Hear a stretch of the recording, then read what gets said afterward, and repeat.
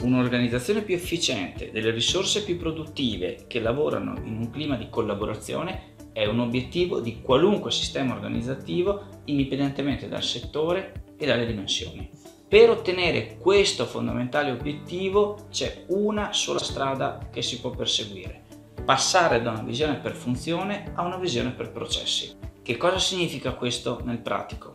Nella visione per funzioni esiste una gerarchia, un organigramma dove le diverse funzioni si trovano a svolgere delle attività con una visione circoscritta al completamento delle attività. La stessa giornata è organizzata per portare a termine le attività secondo una scaletta di priorità che la risorsa stessa definisce o che gli viene stimolata da colui che gli ha assegnato l'attività a monte. Nella visione per processi invece tutte le risorse si trovano a collaborare verso un obiettivo comune, ovvero soddisfare il bisogno che ha fatto nascere quello specifico processo. Solo una visione per processi permette di raccogliere quelle che sono le informazioni necessarie per andare a progettare un sistema organizzativo efficiente e produttivo non è una trasformazione radicale in termini di impatto verso le risorse, è prima di tutto una trasformazione che l'imprenditore deve comprendere nel modo di approcciare il sistema organizzativo introducendo metodo